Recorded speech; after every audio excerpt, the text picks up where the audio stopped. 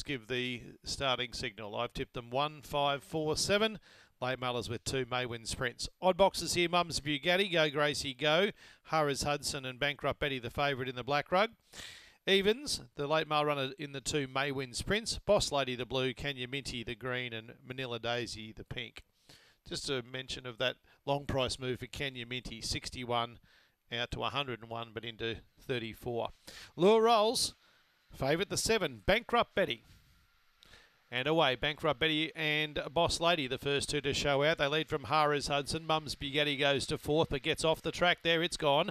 On the outside, then comes Kenya Minty Go, Gracie Go, and back of the tail, Manila Daisy.